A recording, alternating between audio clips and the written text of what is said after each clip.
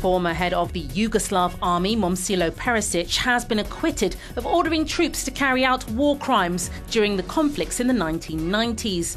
Judges at The Hague overturned an earlier conviction for aiding and abetting crimes against humanity in Sarajevo and Srebrenica and a 27 year sentence.